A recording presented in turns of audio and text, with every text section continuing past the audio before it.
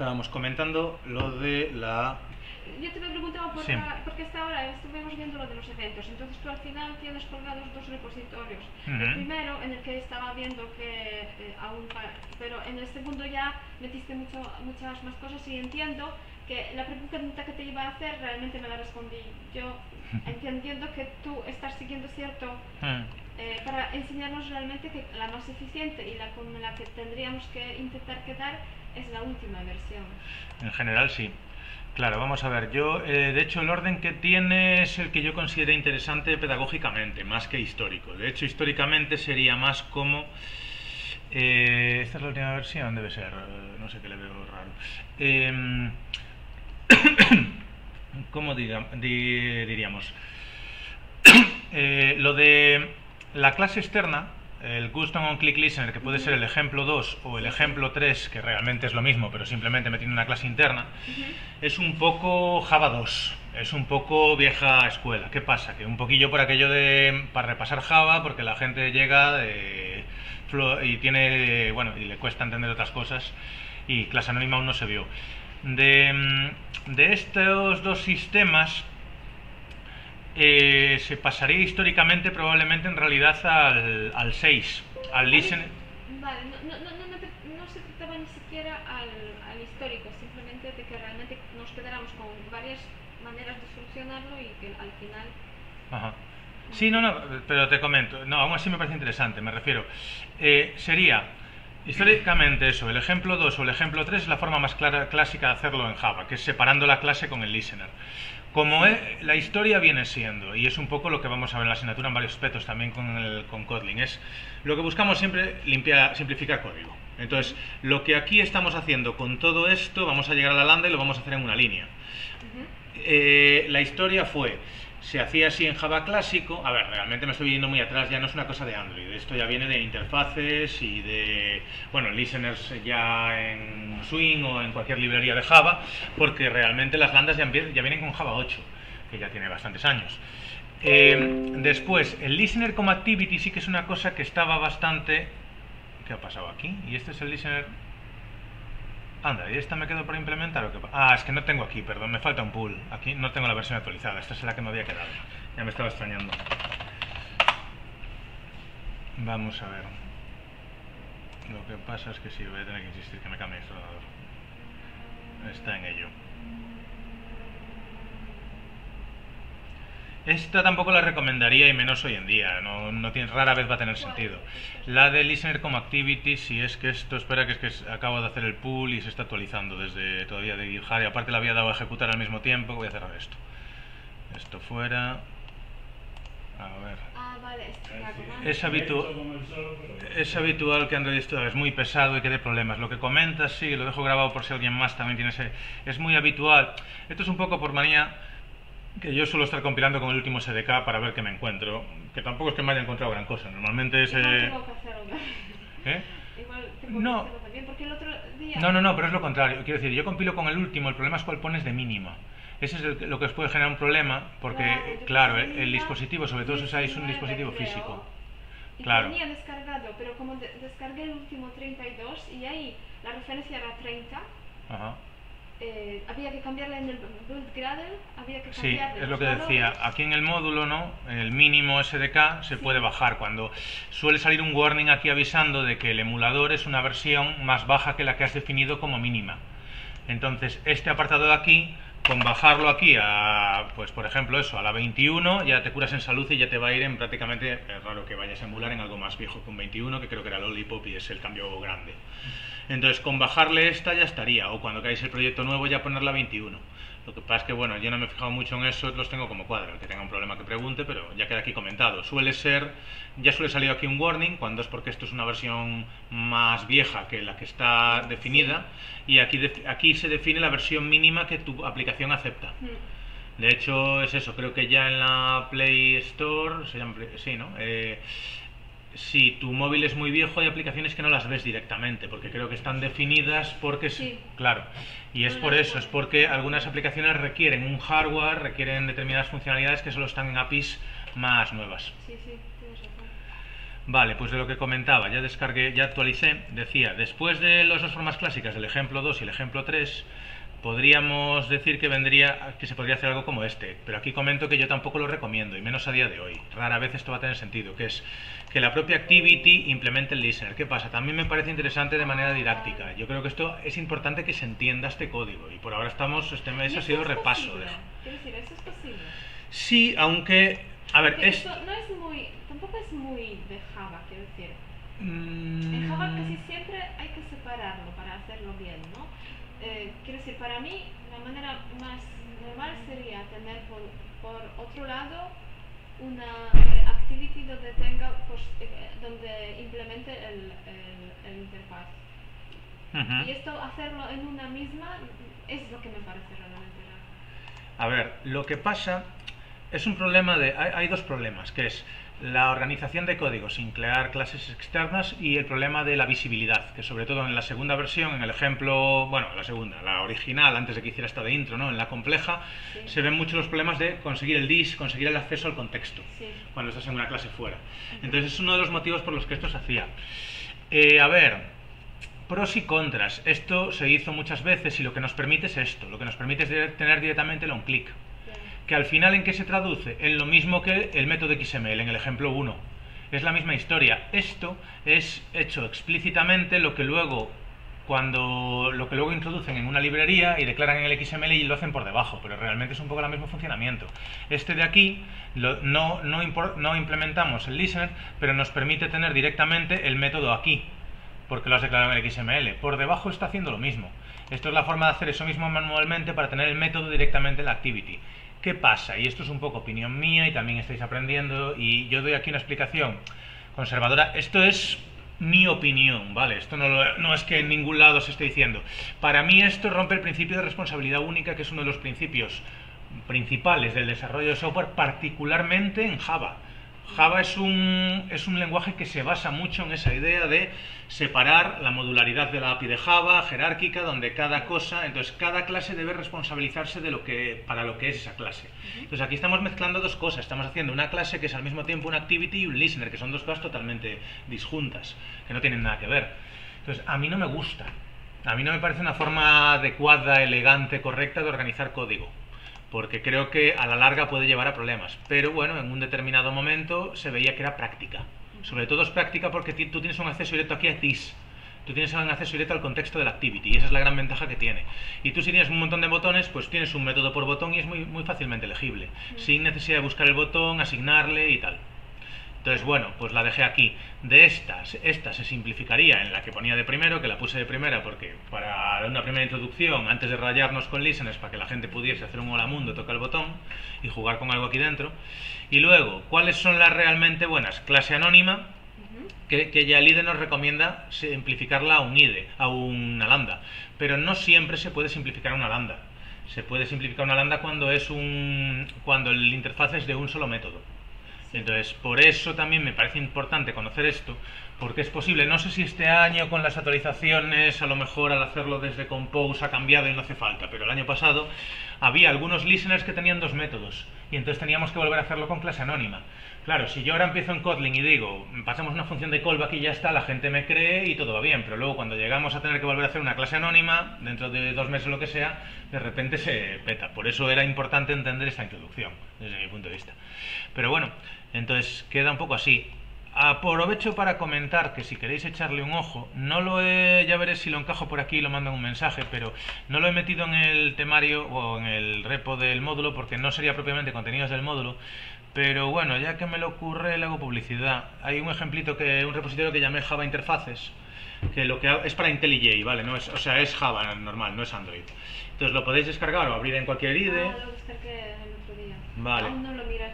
Pues lo que hago es, así por encima, ahora ya no lo, no lo voy a abrir aquí, pero hay una explicación con API de cómo usar arrays.sort, cómo ordenar un array. Básicamente ordenar un array en Java, como sería normalmente. Aquí está explicado de varias maneras y vemos cómo ya nos lleva a la lambda, incluso a un paso, creo que se llama paso estático de pasar un método estáticamente como argumento, eh, que es otra historia que no habéis visto. Eh, y lo que hice fue, para que la gente entendiera por qué es necesario un interfaz, hice desde cero como mi versión de implementar lo que ya está hecho en la API. O sea, creé un método de. me creé mi propia librería de cómo ordenar arrays con dos interfaces para que se entienda que la interfaz es lo que es cuando yo te doy una librería a ti, aquí tenéis ordenado, tenéis una carpeta que es librería. Entonces la idea sería, tú importas mi librería y yo he diseñado mi librería de manera que tú sepas usarlo. Y ahí es donde entra la interfaz. La interfaz es lo que te dice, la, valga la redundancia, la interfaz entre cómo comunicarte con mi librería.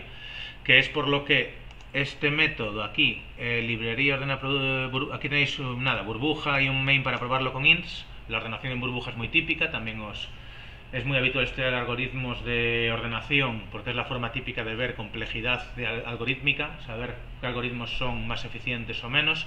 Hay un montón de tutoriales sobre esto, se nos va del temario. Nosotros lo hicimos, pero yo no me acuerdo bien. Muy por encima, ¿no? Algo os enseñaron, guay. Sí, algo hemos hecho.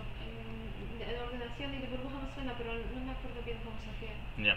Bueno, lo hice solo con burbuja y luego lo que hago es un método ordena productos, pero que recibe la interfaz producto comparable. ¿Por qué? Porque necesito el método es mayor. La clave es esta, es entender esto, es entender que yo te doy una interfaz para que tú la implementes y así tener el método que yo luego desde mi librería voy a usar. Te estoy obligando a que tú definas el método que yo necesito usar Ah, para, que tú, para poder ordenar. Ahí utilizas comparator. Eh, explico tanto comparable como comparator. Comparable es para el orden natural de, un elemento. Yo defino la clase producto y si implemento comparable, lo que hago es obligo a que haya un método que me permite comparar un producto con otro, si es mayor, porque es lo que yo necesito en mi librería para después ordenar. Para poder ordenar necesito saber cuál es el orden. Si ordeno por precios, ordeno por ventas, cuál es el orden natural. Se usa comparable cuando solo hay una forma de ordenar y se usa comparator cuando cuando lo que quieres es definir distintas formas de ordenar. Entonces le pasas como segundo parámetro cuál es la que quieres usar en el momento. Y lo habitual aquí es pasar una lambda. Lo habitual aquí es que tú pases con una lambda cuál es el comparador, o sea, cuál es el, cuál, qué es lo que devolvería el método compare. Entonces, bueno, echadle un ojo si queréis y me preguntáis igualmente, me podéis preguntar dudas de esto igual. Y, y si no, pues da igual, más adelante le podemos dedicar una sesión así a modo de repaso. Creo que es interesante. Bien, ¿eh? Sí, lo que pasa es que hay que hacer muchas cosas y o sea, hay pocas horas. Y quiero llegar a que empecemos a hacer interfaces porque si no, para... eh, eh, eso. Pero No, bueno, está bien que lo tienes ahí. Yo creo que, oye, al final le dediqué horas a la tontería y creo que es un ejemplo, creo que está bastante bien porque yo mismo me encontraba con que no hay buenos ejemplos explicando, cuando buscas un tutorial, un ejemplo de interfaces en Java, te explican cómo usarlas asumiendo que ya están, pero no te explican por qué alguien las, por qué alguien definió una interfaz, en qué momento hay que crear una interfaz. Claro. Entonces lo que intento hacer aquí, todo esto desde cero, esto, lo que llamo librería, es lo que normalmente ya está en la API. Lo rehice, ¿por qué? Porque si vas a ver el código de la API usa genéricos y otras cosas que no habéis visto. Entonces, para que la gente lo pueda entender, hice mi propia librería como si fuera la API de Java, pero simplificada con Java clásico, sin fantasía, y estos cuatro ficheros que, digamos, hacen un uso de ella y cómo se usaría desde el main.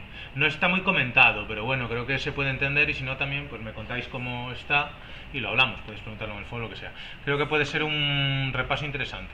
Porque además muchas veces es como nos lo estás diciendo, esto os lo vais a creer por, creer por ahora, o debajo hay magia.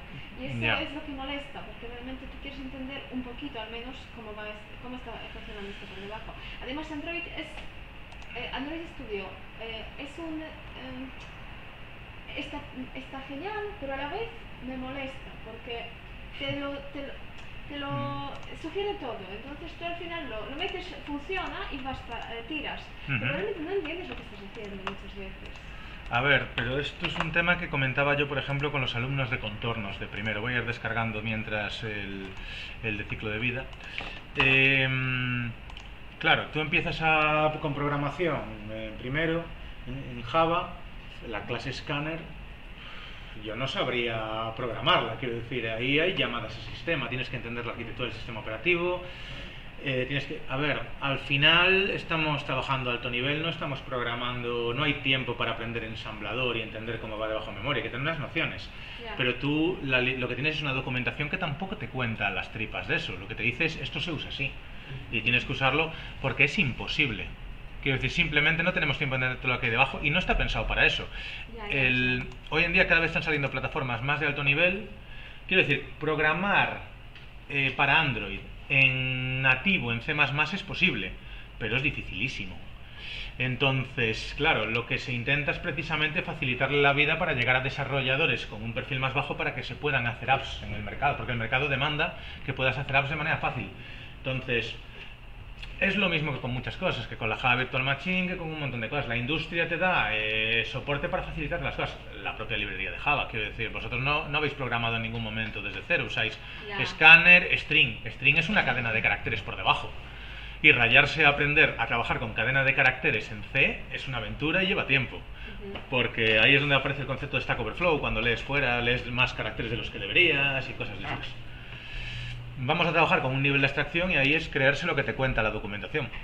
No hay mucho más, eh, porque no hay tiempo. Intentaré explicar como men- buenamente pueda. Ya el año pasado me metí en algún jardín que aquí en, en los apuntes de Kotlin creo que hay de hecho alguna explicación incluso de delegación.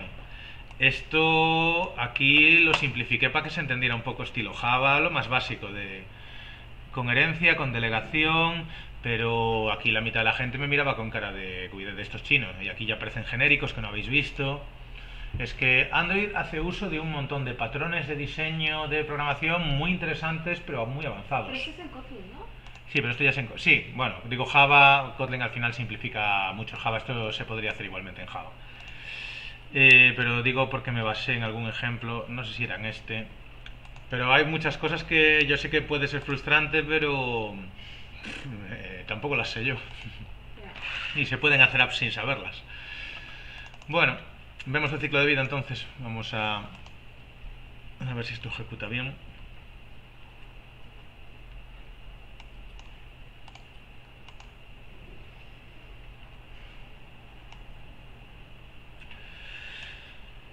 Eso son cosillas de ir, nada, ir practicando, picando código y con el tiempo sí tendrá curiosidad, buceas un poco más y ves cosas por debajo.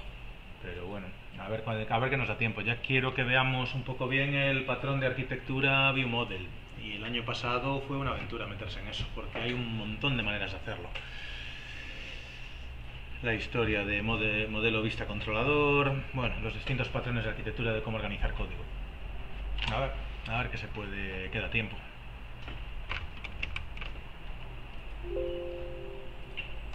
Vale, ya está funcionando. Vale, según lo insta... De hecho, de hecho ya no sé por qué ha pasado por, por la pausa aquí. Ya no me esperaba. eh, no sé muy bien. Bueno, vamos a ver qué pasa aquí. El ciclo de vida básicamente de una activity lo que va lo que nos indica es un poco eh, algo que a ver a mucha gente le habrá sorprendido que no estamos empezando a ejecutar en un main como puede ser una aplicación de escritorio ¿Por qué? Porque hay un montón de cosas que hace por debajo y gestiona directamente el sistema operativo. Y el sistema operativo Android pues no es como, el, como otros que tenemos, eh, como Windows o Linux, donde una aplicación de escritorio en principio pues sí que la iniciamos y cargamos en el main de una aplicación, como estaréis viendo en diseño de interfaces. ¿no? Si mal no recuerdo también era en el main, cargas los, los eventos, seteas los listeners y demás para abrir la aplicación. Aquí, eh, como tiene mucha lógica por debajo la, la activity, Pero hay una main por debajo, ¿no? ¿cómo? Hay una main por debajo, por debajo de todo esto. Lo que nos genera ya antes de que nosotros empecemos. Ajá. Quiero decir, Probablemente. lanza la primera activity, vale, la Sí. main activity, mi primera pantalla. Pero por debajo ya ellos tienen la main. Me imagino, pero no, lo- no lo sabría decir a Entonces, ciencia eh, cierta. eh, ya, lo- ya tengo todo, eh, todo lo de bundle, de, eh, de onCreate y es, Ujú. eh, state instance, no me acuerdo. Se ve Eh, ese instance state. todo sí. esto ya está, quiero decir, pero ahí dentro Ujú. ya a lo mejor ya hay una. Sí, eh, probablemente en algún lado, y si no lo hay, habrá algo que lo sustituya. Eh, sí, porque a ver, en algún lado tiene que empezar el, el inicio de ejecución, entonces me imagino que de alguna manera, la verdad es que no lo sé, no sé si hay un patrón a día de hoy que no, no sea exactamente método main, ¿no? Eh, la cuestión, debajo hay muchísimo. Podemos bucear, que no está de más en las clases y entender qué pasa. Podemos venirnos a Compat Activity, en la documentación, ver qué tiene, que heredará de Activity. Me imagino que a lo mejor heredando de, vamos a Fragment Activity, que hereda de Component Activity, que hereda de Activity en algún lado, llegaré. No, esta es la misma, aquí, por fin, Activity. ¿Y esto qué pasa? Que me lo decompila, porque esto no está en la misma API, ¿o qué pasa? No lo he descargado. Tendría que descargar la versión, la API 30, porque no sé, se ve que no descarga toda una tacada. Em. Bueno, ahora es, ahora es porque me he puesto a descargar esto, pero sí, evidentemente es verdad que es tedioso arrancar mientras no conoces los errores del IDE y tal. Es normal que os dé mil errores y problemas, nada, irlo preguntando y se va viendo. Con la experiencia le vas pillando el punto. A veces eso, cuando hay que limpiar el emulador y esas cosas. Eh, a ver, Activity Class no, quiero el código. Ahora, bueno, es que está todavía indexando. La navegación no está disponible. Bueno, en cualquier caso no creo que solucionemos mucho. Decía, a lo mejor en Activity aparece algo por ahí. Eh, la cosa, esto tenemos que, que tenemos que crearnos debajo, hay un montón de cosas y la documentación nos dice cómo usarlo y punto. Realmente, lo dicho, no es distinto que lo que ya habéis hecho, tampoco, tampoco sabemos lo que hay por debajo del escáner de Java en terminal. Entonces es la misma historia, son llamadas cosas del sistema operativo y cosas de ensamblador. Eh, bueno, ensamblador no, estará programado en Java, pero habrá llamadas a módulos o cosas que, son más bajo nivel. Eh, vale, decía, ahora ya que estamos, ¿no? Que se puede llegar hasta aquí a ver qué hay en activity.java directamente. Y no sé si por aquí, por algún habrá algo... Porque esto tendrá el ciclo de vida explicado cómo funciona, pero es que aquí hay la de... Esto es grandísimo. Entonces no creo que un main No, a ver, si aparezca por ahí. el tiempo ahora en eso, no me importa. Ya. Ya. Ya cuando Aparte, bueno, aparte la cuestión de hilos, que ya veréis en, en PSP, las cuestiones de concurrencia, que es uno de los problemas aquí. La cosa es que tú puedes hacer varias cosas a la vez. A ver, lo del ciclo de vida se va a entender muy rápido con el ejemplo típico con el que vamos a trabajar y en algún caso veremos cómo solucionar es esto. Yo tengo mi aplicación, suponga, y podéis hacer una prueba muy rápida con lo que habíamos hablado. Podéis hacer un contador sencillo, estás contando, haces clic, cuentas hasta 20. Y entonces le dais a... eh, vaya por Dios, el Nexus One no, no, no, no se gira. Tengo que ejecutar en otro emulador para hacer lo que quería. Es que eh, este móvil se ve que como es muy cuadrado o algo, no sale la opción de girarlo. No lo conozco en hardware, pero parece que igual no tenía la opción de panorámico. Entonces, uno de los casos que iba a comentar es eso, cuando giras a panorámico, pero básicamente se entiende mejor con el ejemplo que pongo siempre. Tú estás escribiendo un mensaje en WhatsApp y de repente te entra una llamada. La aplicación WhatsApp que estaba en primer plano pasa a segundo plano, ¿vale? Y, tú, y te entra la aplicación de llamada. Entonces, pero tú eso que estabas escribiendo, ese mensaje, luego lo quieres recuperar, está ahí cacheado para seguir escribiéndolo. Entonces, ¿para qué está el ciclo de vida? Pues son los métodos a los que se llama según lo que pase. Cuando a ti te llaman desde fuera, la aplicación se destruye y luego se vuelve a recuperar. Y recupera información en parte a través de este bundle, que es eh, un eh, que empaqueta datos y recupera la eh, instancia salvada del estado. O sea, el estado en el que estaba la aplicación antes. Porque la aplicación se va a destruir y volver a generarse. El emulador, a ver si conseguimos que arranque. Eh, de hecho, también lo podemos simular eso ahora aquí. Vamos a ver. Voy comentando mientras aquí el código. Vamos a ver, estamos seteando nada. el- como siempre, el layout. Busco un text view y cargo un stream builder. Realmente lo único que tengo va a ser esta estructura. Aquí la simplifico una línea. Tenemos todos los métodos del ciclo de vida. Start, restart, resume, pause, stop, destroy. Y en todos ellos lo que hago es llamo al padre, como siempre hay que hacerlo, el método padre, donde están las librerías de Android que gestionan eso por debajo. Y añado una línea. En añadir una línea lo que hago es voy modificando este stream builder. Stream Builder en general es digamos la clase recomendada para cuando vas a manejar un string con eh, múltiples modificaciones. Si vas a estar constantemente añadiendo cosas, esto es más eficiente que concatenar strings, porque cada vez que concatenamos strings creamos una copia entera del string. Mientras que Stream Builder lo que va es, creo que a través de punteros, link- eh, linkando la parte que, que- de la que haces append, aquí, eh, ¿dónde está?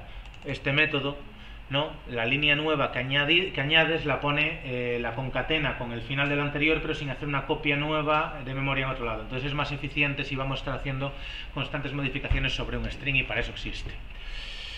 Esto eh, otra vez ha fallado, vale, es que está inicializando, tiempo, está inicializando el, el emulador. Y luego los logs, que es muy interesante también. Bueno, pues a ver. A ver si ahora.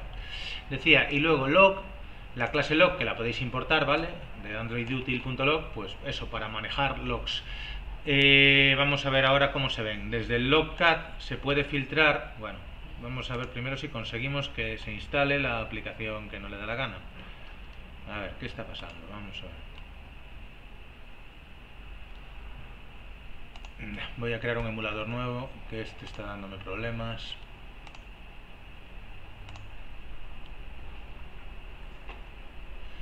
Eh, sé, pues 4 va. Vale, con la API 33 que es la que teníamos, ok. Y a ver, ahora tardará un poco también lo malo de la parte de cuando arranca por primera vez el emulador, pero bueno, vamos a ver si, si ahora va. Pauso mientras.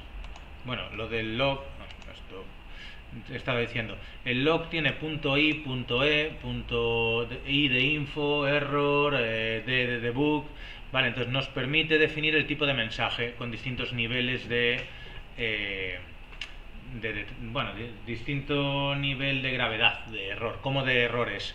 En el logcat vamos a poder filtrar por estos niveles, verboses que nos diga todo, mensajes de debug, mensajes de info, de warning, de error. Vale. Siempre va a ser de, desde el nivel que le pones en adelante. O sea, si yo lo pongo en info, los de error siempre van a salir porque son más graves, pero ya no me van a salir los de debug, por ejemplo. Entonces, en este caso, pues estoy poniendo info. ¿Por qué? No estamos, bueno, pues porque elegí ahí, no estamos debugueando, estamos viendo cómo funciona la aplicación. El log nos sirve para poner mensajes que no sean prints, ¿no? Y que, y que luego, pues en principio en producción no se vean, están, bueno, eso para está para archivos de logo, para quien quiera ver el logo. ¿Cómo? Para nuestro Internet Control. Claro, para desarrollo, ¿no? De hecho, aquí vemos pues que hay mensajes, veis, la I esta, por ejemplo, es de info, pues aquí hay un log de info que puso alguien que desarrolló algo del GMS, ¿vale? Algo de hardware scan, pues de cuando estaba, pues la, cada quien que programó su parte, aquí mensajes de warning, de bug, el, no sé qué es eso, esto no sé lo que es. Vale, determinadas cosas. Esto, pues la gente que desarrolló esos módulos le puso logs. Entonces, aquí tengo tanto el log como que modifico el texto del text view con la nueva línea que le añado, que le voy añadiendo al stream builder. Voy modificando el stream builder, lo convierto en string y actualizo el text view cada vez que se pasa por uno de los métodos. Y lo que vamos a ir viendo es cómo se pasa por cómo pasa por cada uno de los métodos. Si buscáis ciclo de vida Android normalmente lo primero que sale por ahí es el ciclo de vida de una activity. Este sería el dibujo clásico. Mira, además aquí apareció en castellano. Eh, copiar imagen. Vale. Eh, cuando una actividad se lanza, eh, bueno, primero tenemos que tener, recordamos, ¿no? La activity declarada en el manifest, las activities que se pueden lanzar desde el launcher con los intent filters. Entonces, en este caso, la única que hay. Esta activity se puede lanzar desde el lanzador. Ya, se me, ya me cargo esto. Cuando se lanza, pasa por el método onCreate, que es lo que estuvimos tocando hasta ahora. En el método onCreate es donde definimos casi todo.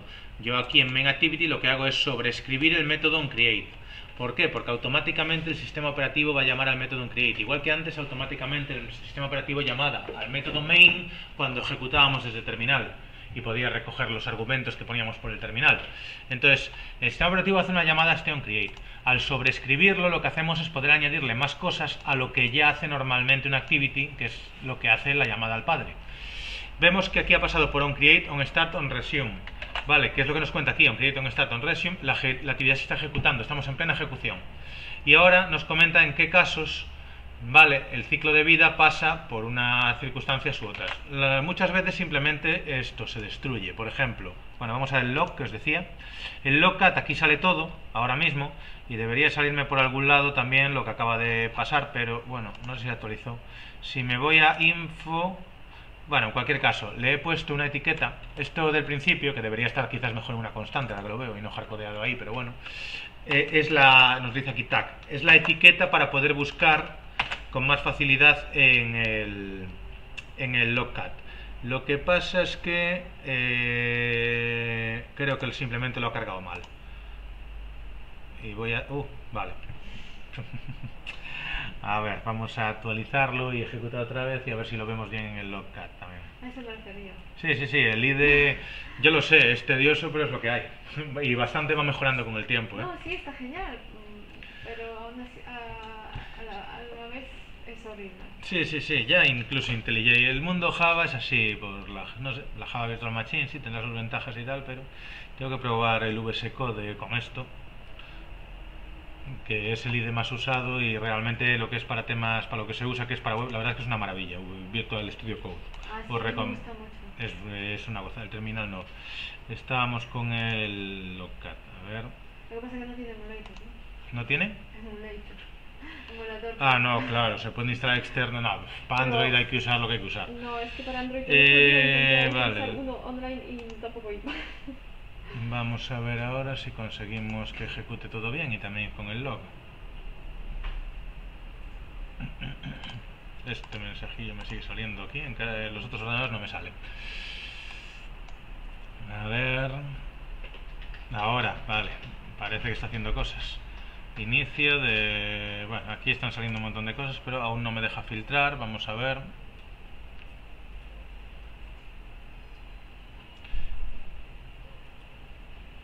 Vale, parece que está funcionando. Y aquí acaba de cargar, vale.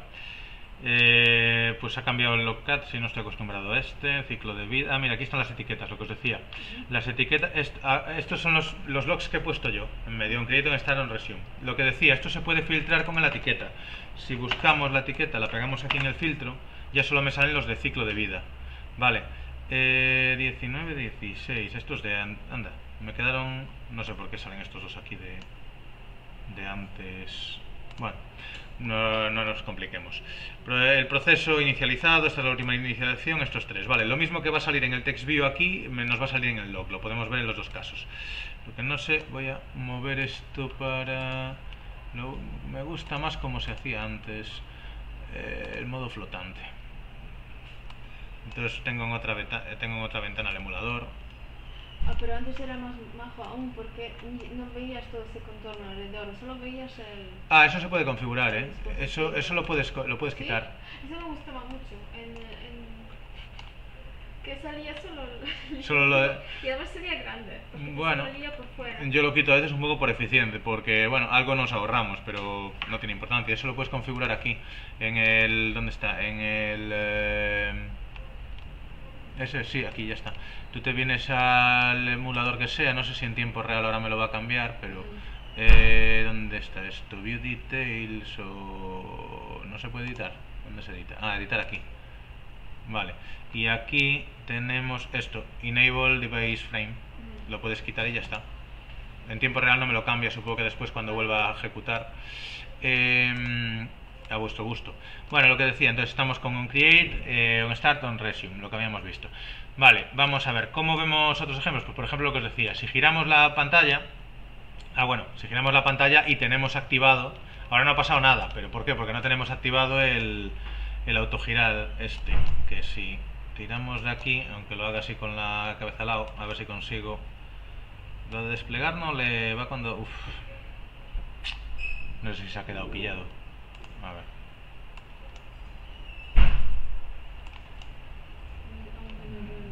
No estoy consiguiendo que despliegue esto. No estoy seguro si está reaccionando o no. Vamos a ver un momento. Que... Ahí estamos en home. Bueno, con esto también pasa. Vale, lo que quiero es esto, el autorrotar, ponerlo on. Vale, de todas maneras, por ejemplo, esto también me vale. Acabo de salir a home. Vale, pulsando eh, la- el eh, botón principal. Y ahora en el log vemos que ha pasado por pausa y por stop. No se ha destruido, pero ha pasado por pausa y por stop. Si yo ahora vengo aquí y vuelvo a entrar aquí, me sale ese pausa, ese stop, ese resta- restart, start, resume. Acaba de hacer esto hasta stop y se ha venido por aquí, restart, on start. Vale, porque ha pasado a segundo plano porque me he venido al launcher. Realmente de lo que estamos hablando y lo que hay que entender es simplemente eso, que era lo que a la gente le confundía. ¿Por qué no hay un main? Bueno, pues porque sirve todo esto. ¿Para qué sirve todo eso? Pues por ejemplo, para que cuando el sistema operativo llame a stop porque te estén llamando o por lo que sea, tú puedas guardar la información para no perderla. Cierta información que no tiene persistencia, ya veremos cómo almacenar en bases de datos o demás, tú puedes reservar ciertas acciones para decir, oye, cuando me entre una llamada, cuando la aplicación por lo que sea pase a segundo plano, eh, guarda X información para no perderla. El ejemplo típico, pero lo veremos ya en Kotlin mejor, esto es un poco, eh, por ahora estábamos con introducción y ya llevamos, ya se nos ha ido un mes, vamos a empezar a hacer cosas ya como las vamos a hacer.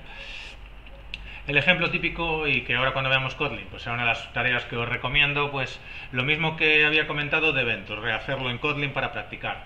cualquier evento que hagáis, de cualquier tipo de contador, aunque sea el más simple, si tú después haces esto, el contador va a volver a cero.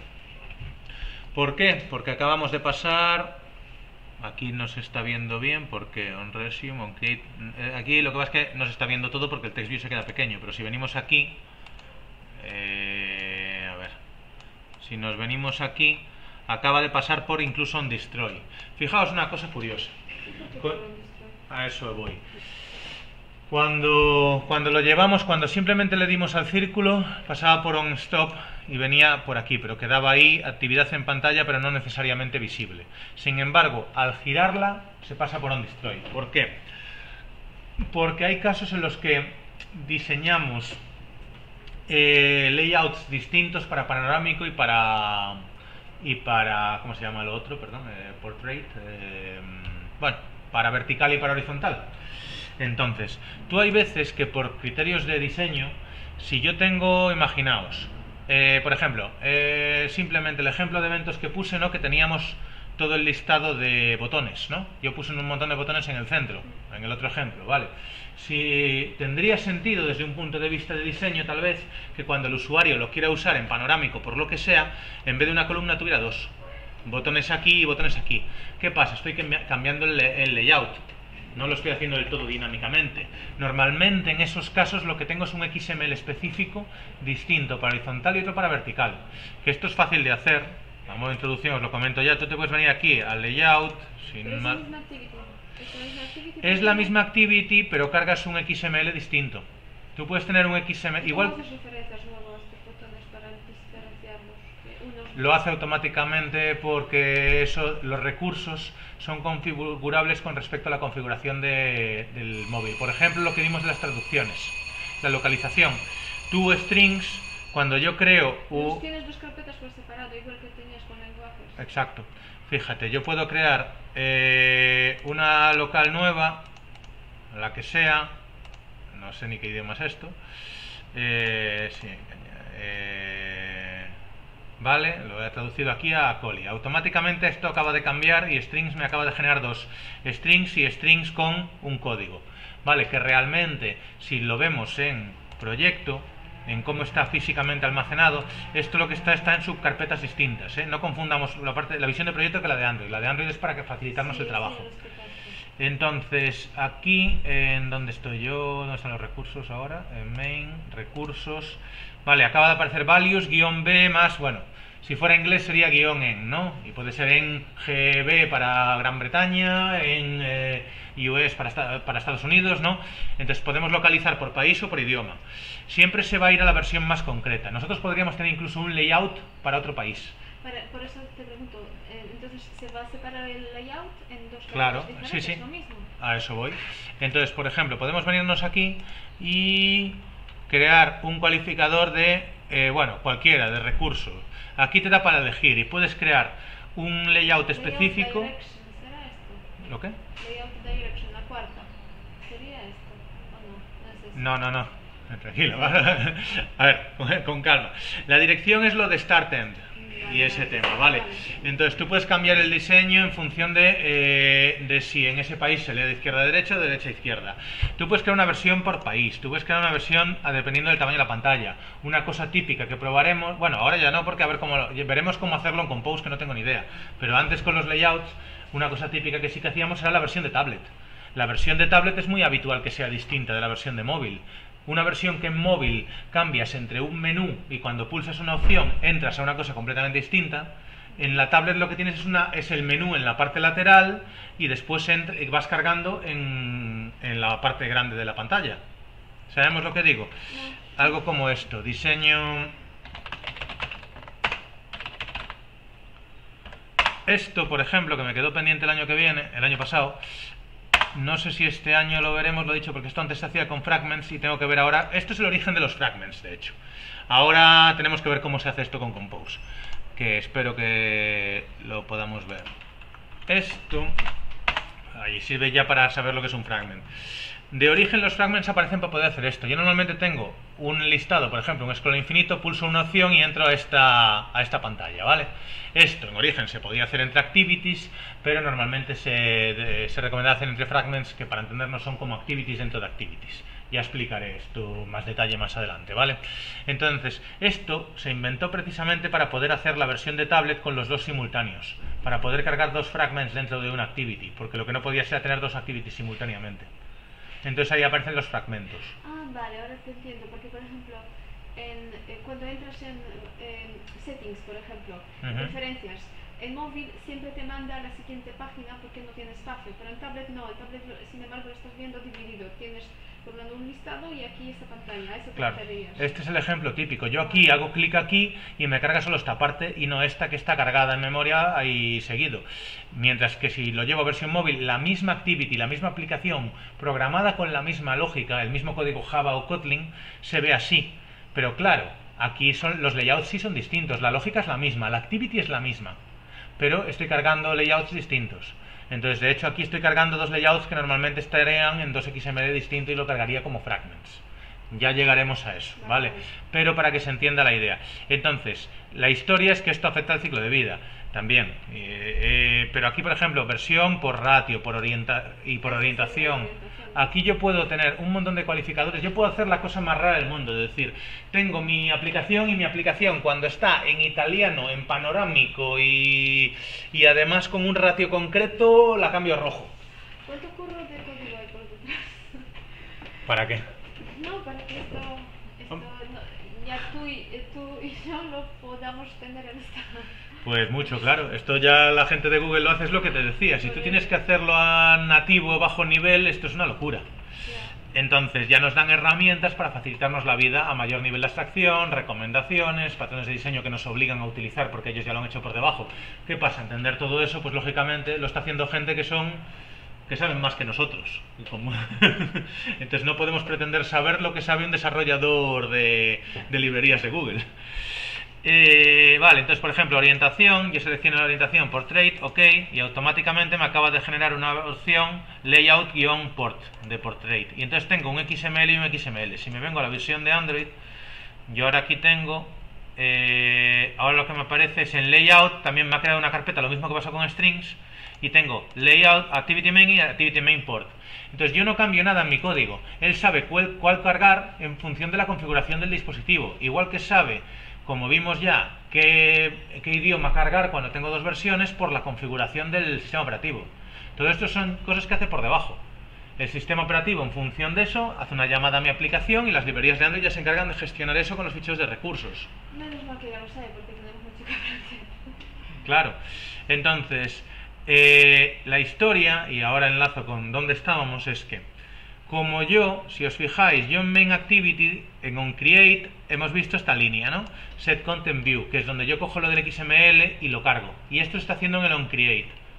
Entonces, si en el OnCreate es donde yo cargo el XML, y de hecho puede haber XMLs distintos para port y tal, yo cuando cambio a panorámico, necesariamente tengo que pasar por OnDestroy para poder pasar después por OnCreate. O bueno, hay una opción desde OnStop pasar a OnCreate, no sé si pasó por OnDestroy. Ahí me pierdo, no lo he estudiado el ciclo de vida, todas las casuísticas y todos los flujos en detalle, ¿vale? Pone un destroy y luego link on create. pasa por OnDestroy y lo vuelve a crear. ¿Por qué por OnDestroy? No lo sé. Algún motivo habrá, ¿vale? Cada- según el ciclo, el flujo, el caso de uso que hagas desde el sistema operativo, tira por un lado, tira por otro. Pero lo que sí es importante es que tiene que pasar por OnCreate. Y entonces por eso necesita hacer todo el ciclo de vida. Entonces volvemos a lo de antes. Cuando yo tengo un contador sencillo y paso por y, quiero que funcione aunque pase a panorámico, tengo que guardar esa información. Es verdad que ya hay formas de hacerlo, ahora no recuerdo, lo debo tener implementado por ahí en algún lado, lo, vem- lo veremos, ¿vale? Eh, hay formas de hacerlo con una línea y ya indicándole cosas. Y de hecho ve con Compose estuve viendo que ya hay unas cosas, ahora hay unas eh, funciones y clases Remember, lo que sea, que ya están pensadas para gestionar esto por debajo, porque las vistas en principio son inmutables. Bueno, toda una historia de diseño, de ing- ingeniería del software complicada, ¿vale? Pero lo importante es entender esto, simplemente, que tenemos OnCreate y tenemos otros métodos del ciclo de vida y que a lo mejor, pues yo ahora mismo, si quiero mantener mi cantador, pues tendría que decirme, pues a- en OnPose o en OnDesktop o en OnDestroy, tendría que habría que estudiar en la documentación y ver cuál en cuál es mejor y ahí pues guardar el estado, guardar el contador como está en ese momento para que cuando la aplicación se destruye y se vuelva a crear yo pueda retomar el contador donde lo tenía. ¿Se entiende? ¿En qué situación está la aplicación eh, eh está, eh, on, on position resume? Eh, ¿Lo qué? ¿Lo qué? ¿Lo qué? Porque eh, puedes volver a enseñarnos la imagen del ciclo de vida. Sí. Eh, lo, lo del verde, on post y on, eh, bueno, on resume y on post. Realmente, aquí, ¿en qué situación se encuentra la...? ¿En qué situación pasa esto, quieres decir? Sí. No lo sé. Creo que ahora no recuerdo. y- decir, eh, Creo que la había ¿me das buscado. ejemplo? Ujú. Eh, porque lo de on, on stop y on, on, Creo- on y on, stop entendí que es, por ejemplo, cuando el sistema operativo eh, te para por, por otro, por otro, eh, por otro proceso Ujú. que es más importante y, y- que, eh, que entra ahora en, en, en primera, en primer plano. No. Pero lo de post, ¿qué situación es ver. para la actividad? No es tan sencillo de definir. No tenéis que aprenderos una definición de cuándo pasa por una o por otra. Eso lo decide el sistema operativo y eso es una decisión que de hecho he visto cambios entre versiones, cosas que estaban explicadas en la documentación de una manera y ejecutándolo empíricamente no era así y pasaba por otros sitios. Por ejemplo, lo de On Destroy que estábamos viendo, yo creo que la documentación no lo, no lo pone así. Y no está del todo claro, eso lo va decidiendo Google y va haciendo sus cambios. No es necesario que sepamos todo eso, lo buscamos en el momento que nos haga falta. Pero, por ejemplo, podemos probar otro caso que sea simplemente esto. Si le damos solo al cuadrado para pasarla, aquí la aplicación, yo creo que ha, ha pasado. Eh, de hecho, no pone nada. No actualiza todavía, a ver. Pero esto es que el log ahora se me ha quedado tonto, creo. A ver. Si lo limpio y vuelvo a hacer esto. Esto, el, ide- el, el ahora se ha... Ah, aquí ha vuelto. Pues esto no llega a hacer nada. Ah, es que hay que... Habría que tener otra. Pero, por ejemplo, aquí ni siquiera... Aquí ni la pausa. La sigue considerando que está ahí. Haciendo esto no pasa nada. Eh, vamos a probar una cosa. Aquí ya dijimos que pasa por pausa y stop. Si yo abro ahora otra, aquí no cambia nada. Si ahora vuelvo a la mía, pasa por restart, start, resume, que es la que vimos por aquí, este, este flujo. Si ahora hago esto, no, aquí no hace nada. Sigue ahí en segundo plano. No, entonces no, no lo sé, no sé en qué caso solamente pausaría. No, nada, no te preocupes. No, era posiblemente... A lo mejor recibiendo un mensaje o algo. Vamos a probar, por ejemplo, que así también sabéis que aquí se puede simular cosas como eh, que recibas un mensaje o que te llamen. Por ejemplo, que te llamen. Vale, eh, llamar a mi dispositivo. Y entonces vamos a simular qué pasa cuando está entrando una llamada. Por ahora nada, porque no la he, pero ya estamos con algo por encima. Si, si acepto la llamada, ahora se pausa. Mira, ahí está solo en pausa. Ah, no, ya pasó por un stop. No, no sé en qué caso solo se pausa. Creo que ya lo había intentado el año pasado y no lo ¿Y si encontramos. Vemos. También podemos simular eso. Cierro aquí. Y ahora eh, la cámara... ¿Dónde estaba esto? Aquí. Vale, cámara, cámara. Lo que no sé si le puse cámara a esto. Sí que hay, más arriba. Eh, aquí. Vale. eh, y esto es wall virtual. Esto no lo he probado. Table wall. ¿Qué, qué es esto? Añadir imagen. Que es como para si se viera una imagen. Aquí no lo sé. ¿eh? No tendría que ver Ah, cómo no, No sé bien cómo funciona esto. Pero directional path phone no sé. Eh, estaba viendo dónde están los mensajes, los SMS, o displays, localización, fingerprint. Eh, había una forma de mandar mensajes, pero parece que la han En el quitado. teléfono, ¿no? Ah, sí, claro. Estoy aquí. Enviar un mensaje. Si enviamos un mensaje pasa algo. Llega por ahí, tal, muy bien, pero no, no. Y si le doy a reply ya va a abrir otra y entonces va a pasar por stop. Ah, no, se puede por aquí. Pero sigue, no, no cambia el ciclo de vida, parece que sigue donde antes. Esto está por encima. Que no le afecte. ¿Eh? Que no le afecte. A ver, eh, no lo sé. ¿Habrá algún caso en el que este ciclo de vida suceda? O también te digo, esto es igual cuando lo escribieron lo había y ahora lo han cambiado. Tampoco me extrañaría, ¿eh? Que igual ahora hayan decidido ser más rigurosos y nunca se dé este flujo en concreto. simplemente porque si nosotros tenemos que tener alguna manera también eh, controlarlo en el código, a eso me refería. Y por eso quería entender No. en qué situación se encontraba la aplicación. Si no, Yo re- realmente dentro del temario de lo que estamos viendo no me he encontrado con... Hemos probado eso, a controlarlo. eh, sí que hicimos pruebas con un contador simple y girando la pantalla. Pero tampoco nos dio tiempo mucho más. Vale, pero no, era, no es algo que tú como desarrollador tienes que pensar mucho en Hombre, en según qué casos, para hacerlo bien sería interesante. Pero lo dicho, hay mucho que ver y no, da tiempo. no nos paramos si quieres. que No, no, eh, está bien, una introducción está bien, pero yo mismo no he profundizado todavía mucho más en el ciclo de vida. Es una de las cosas, lo he dicho, que están ahí pendientes. Es interesante. Será interesante sobre todo saber cuándo habría que hacer alguna aplicación donde tuviésemos distintos niveles de guardar, de persistencia. Por ejemplo, eso, algo de que mantenga en caché un mensaje. Pero eso lo podemos probar con un edit text, de todas maneras.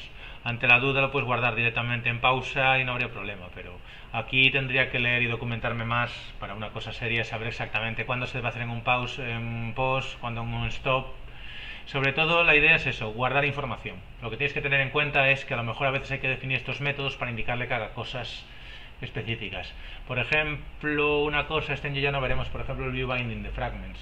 El view binding de fragments era una cosa que como es un patrón de diseño un poquito complejo, engañaba al garbage collector y había que decirle explícitamente, había que liberar memoria en un destroy, había que decirle que una variable la destruyera. Esto a lo mejor también acceso a datos lo veréis, tipo, cosas tipo cerrar la conexión con un fichero. No os estáis viendo en acceso a datos, estáis leyendo ficheros, ¿no? Y eso. ¿No? Aquí no la tienes. Claro. Por encima y tenías que Sí, eso lo estamos dando. Claro, cerrar el acceso o a una base de datos. Tú un una conexión con una base de datos deberías cerrarla explícitamente. Que mucha gente se olvida hacerlo. Entonces, Pero en principio es el mismo, sea un fichero local, sea una base de datos. claro, sí, sí, Lo bueno, al final, efectivamente, un fichero no deja de ser. por ahí y después vete tú a ver a saber dónde está el proceso ese. Correcto. y tal. Claro, entonces son cosillas de esas. Básicamente lo que más nos interesa es saber cuáles de esas cosas no hay que guardar el estado, cerrar aquí. En OnDestroy. Evidentemente cerrar una conexión a base de datos de primeras en OnDestroy, me imagino. Cerrar una conexión con un fichero, lo que sea. Pero puede haber algunos casos en los que pases pues lo que vemos. Ahora hemos visto un caso en el que hemos pasado por onStop y luego con start. Entonces a lo mejor, por ejemplo, guardar un mensaje en un edit text sí que igual lo debes hacer en un stop y no en un destroy. Claro, en un destroy es almacenar con persistencia. Un destroy es guardo una base de datos para recuperar después o unas preferencias.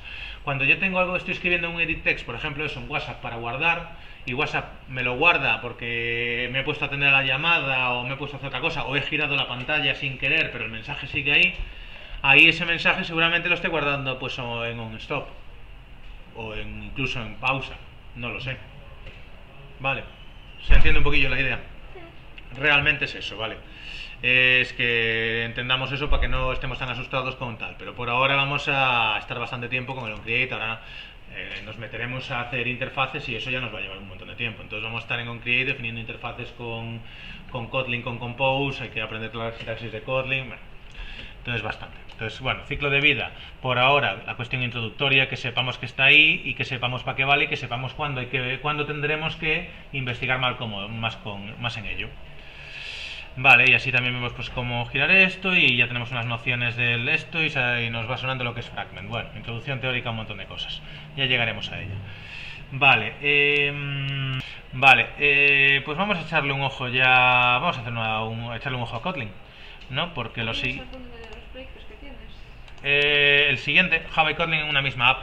Este lo hice para hablar de la interoperabilidad de Java y Kotlin, pero realmente tampoco es del todo correcto, porque ahora, ahora lo comento. ¿Eh? No se puede, en el mismo proyecto puedes tener ambos.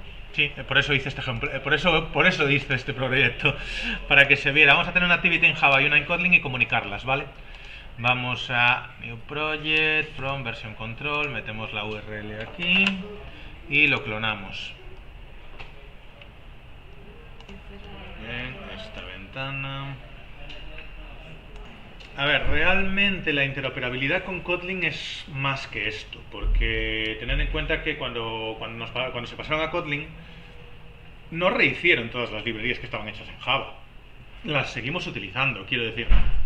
Primero, Kotlin, como puede ser otros lenguajes Groovy, Scala o así, se basa en la filosofía de Java y sigue eh, compilándose a la Java Virtual Machine.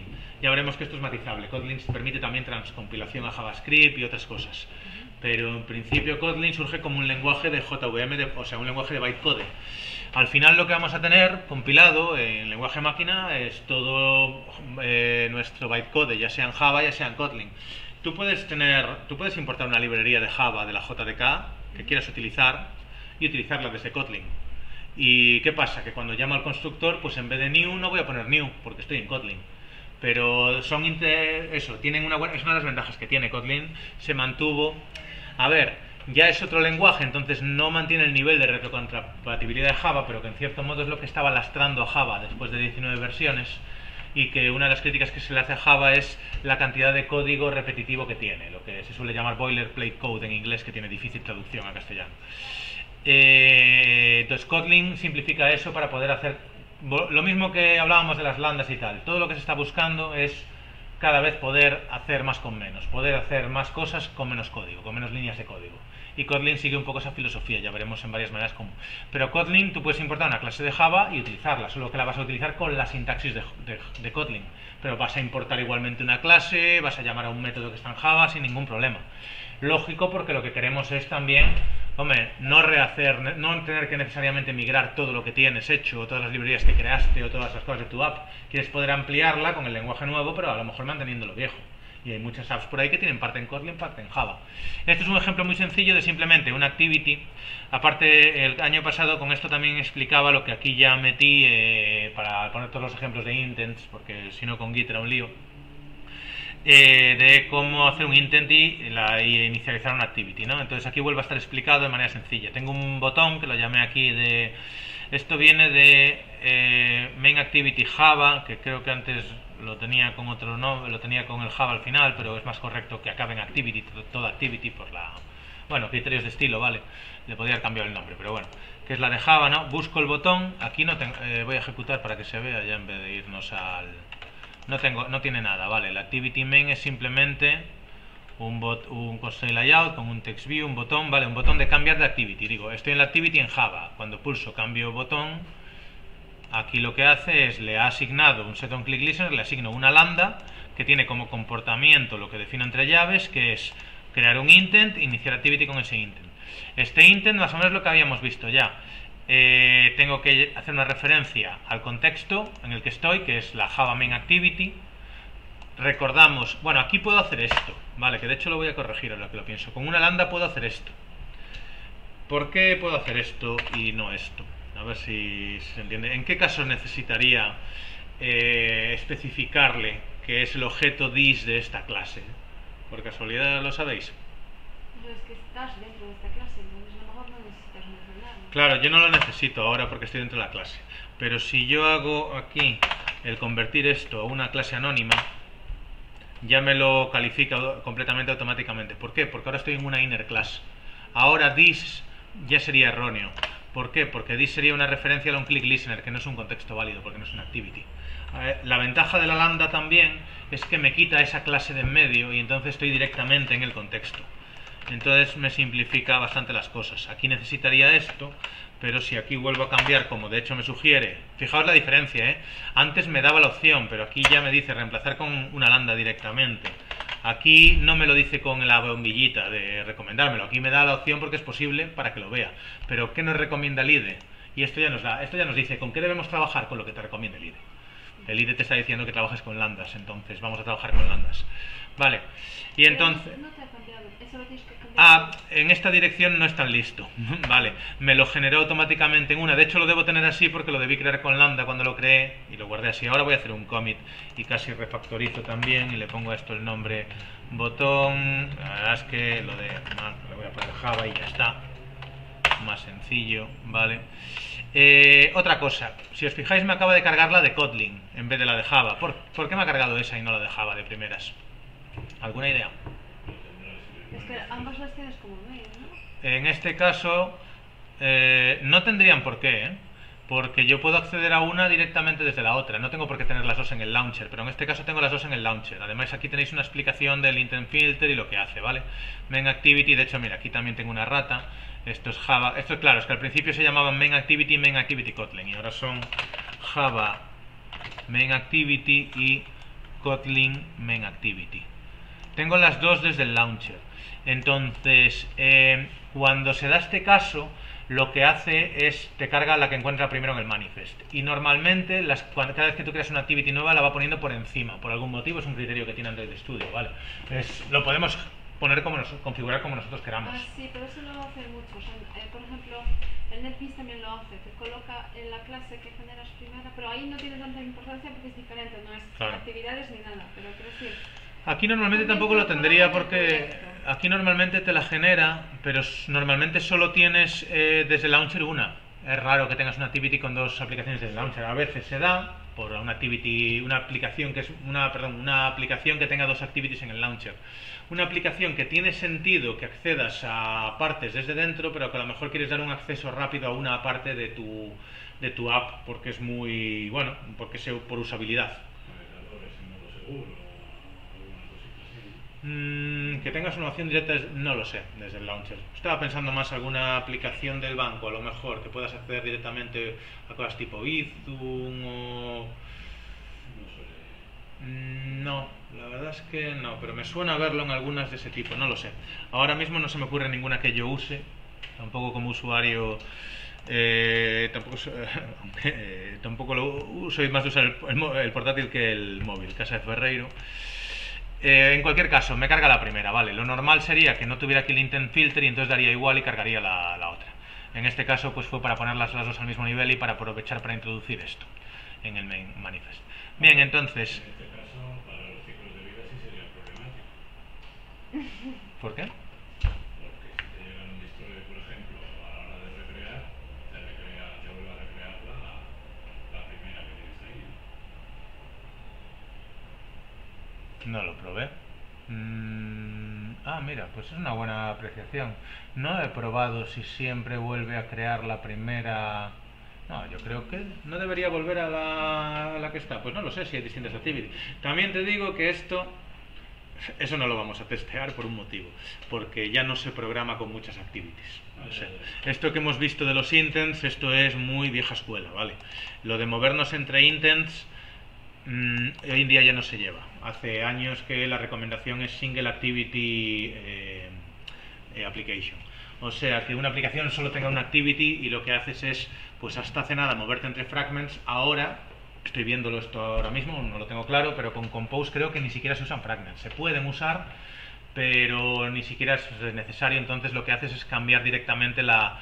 A ver, Compose, por cómo es, nos permite hacer lo que en XML sería equivalente a dentro de un solo XML tengo todas las pantallas y lo que hago es cambiarlas dinámicamente. Claro, esto hacerlo en XML sería andar jugando con la visibilidad de una manera brutal.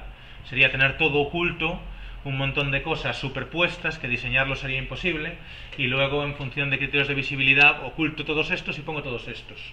Vale, creo, creo que la tendencia es con Compose que eso sí se va a hacer de una manera fluida y eficiente y eso hace que, la, que vaya más rápido y tenga menos gestión interna. Entonces, en general, parece que Compose son todo ventaja en el aspecto.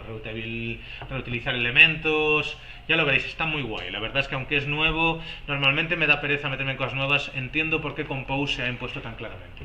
Están copiando el modelo de Flutter, se permiten previsualizaciones más rápidas.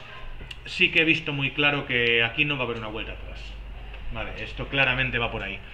Pero bueno, yendo a lo que íbamos, nada, tenemos un cambio de, podemos cambiar dentro de las dos activities con intents y nos sirve de una pequeña introducción para ver una activity en Kotlin. Bueno, pues vamos a comparar.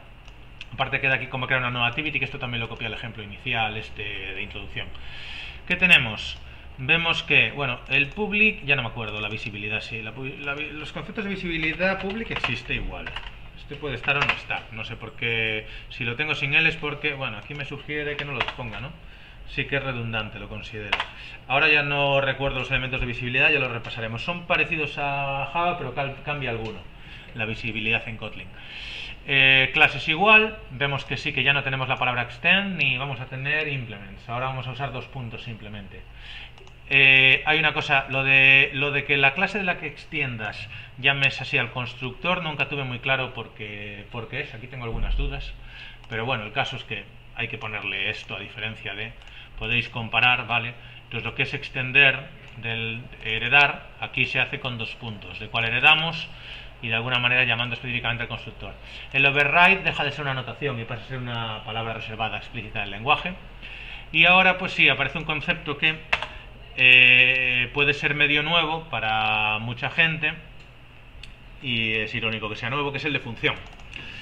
Lo que os han enseñado como métodos realmente es eh, como Java encapsula las funciones, pues se llaman métodos.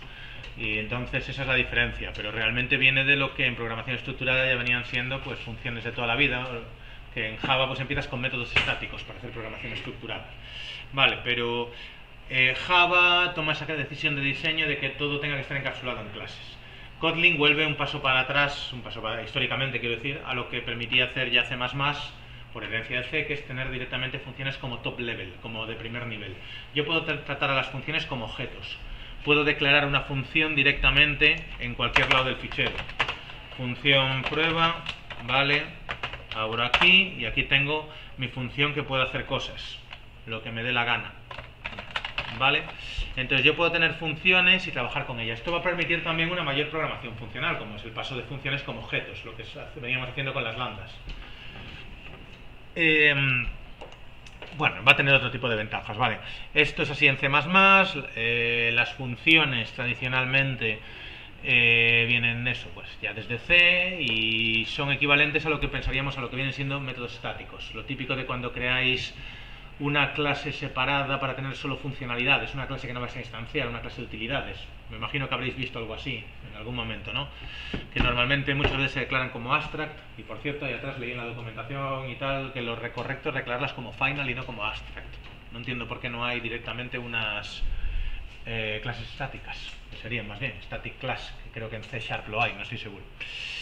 Bueno, hay, todo un debate sobre eso, ¿vale? Pero luego Java recomienda declararlas final cuando haces una clase que es solo de métodos eh, estáticos.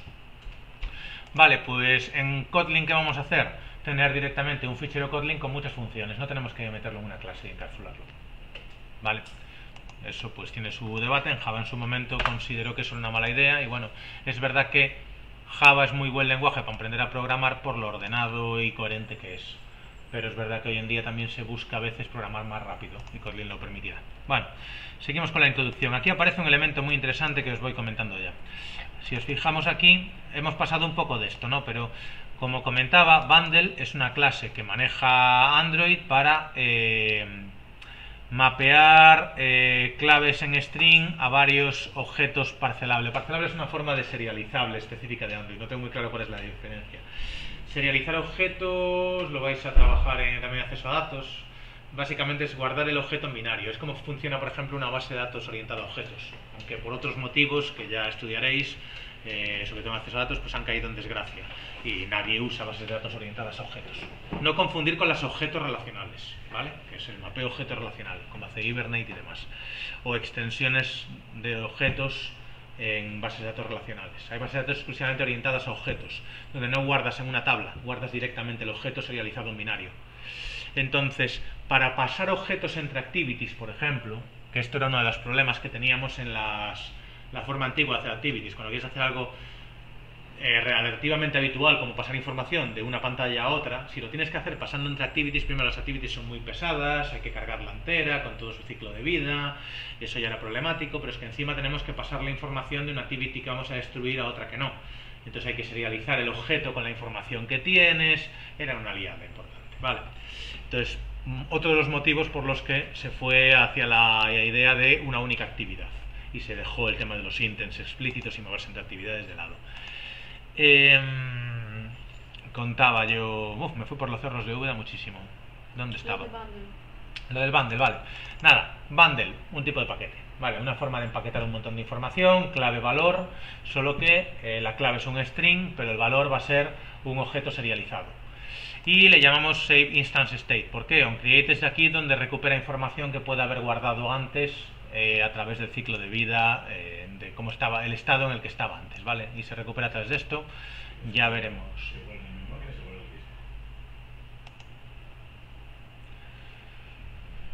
Em, esto en memoria. Esto de primeras que yo sepa en memoria. Tú cuando lees de disco lo haces explícitamente. Cuando lees de una fuente persistente, en el onCreate leerías de manera explícita, abrirías una conexión con la base de datos y en el onDestroy la cerrarías. Igual que puedes abrir una conexión, bueno, una conexión a REST, ahí no me acuerdo, también se cierra las librerías, sí, lo que son las, las clases que utilizas para la conexión, también puedes cerrar un socket, puedes abrir un socket TCP y cerrarlo. Hay muchas cosas que podrían tener sentido, volviendo a lo del ciclo de vida. pero en principio esto es para recuperar algo en memoria porque aquí esto es lo que ya usa por él por debajo por defecto cuando ya te recupera cierta información. Vale, eh, lo que sí matizo, aquí bundle, ¿vale? Se declara simplemente como bundle. Aquí tenemos bundle como una interrogación. Vale. La declaración de tipos vemos que se invierte. Ya no tengo bundle save instance state, sino que ahora está dos puntos y con dos puntos le decimos de qué tipo es. Bien, la- una de las principales diferencias de Kotlin, que responde a una de las principales críticas que se hicieron a Java, la crítica quizás más exitosa y más consensuada y que el propio creador de Java la llamaba el error de los, no sé si 3 billones de dólares o algo así, eh, nunca me acuerdo cuál era la cifra, es que todos los tipos sean nulables, lo cual nos lleva habitualmente a encontrarnos, seguro que os habéis encontrado muchas veces, con null pointer exception. ¿Esto qué es? Vale, esto es porque estás llamando a algo que, por lo que sea, ha llegado a null y no debería ser null en el sitio donde está. Eh, por no poder declarar explícitamente que una variable sea anulable o no, null pointer exception es un error, como todas las excepciones, que salta en tiempo de ejecución. Eh, eh, los errores en tiempo de ejecución son más difíciles de depurar que los errores en tiempo de compilación. Esto en general lo vemos claro, ¿no? Primero porque los errores en tiempo de compilación a menudo ya ni siquiera tenemos que compilar, ya el IDE ya nos los detecta, porque son, digamos, automáticos. En el sentido, son previsibles. Si yo declaro una variable como no nulable en un determinado sitio y esa variable por algún motivo puede llegar siendo nula ahí, el, IDE ya me lo va a detectar y en Kotlin ya me va a avisar de ello. Con lo cual en Kotlin no vamos a tener null pointer exceptions porque ya las vamos a detectar en tiempo de compilación y esto ya es un gran avance, ¿vale? Yo creo que incluso buscando Java error billion dollars o algo así, eh, null pointer references de billion dollar mistake, vale, el error del billón de dólares, creo que había una página en Wikipedia de esto, pero no. Aquí está, eh, hay charlas, bueno, como veis el tema se toca bastante en varios sitios y, y habla y básicamente explica esto que es un gran problema, pues bueno, yo creo que, creo que se ha quedado más o menos claro ¿no? con lo que decía. Eh, los valores null, no definidos, bueno, que en su momento fue una decisión que se tomaron, aquí está, nuestra amiga la null pointer exception, ¿vale? que es muy habitual. Podéis buscar más información, el que tenga curiosidad sobre ello, es un tema bastante tratado. En diseño, es un, es un clásico de los debates sobre diseño de lenguajes de programación. Bastante interesante. El caso, ¿Y por qué en este caso bundle, es nulable? Eh, ¿Es porque deba ser nulable este bundle? Quiero que lo sea.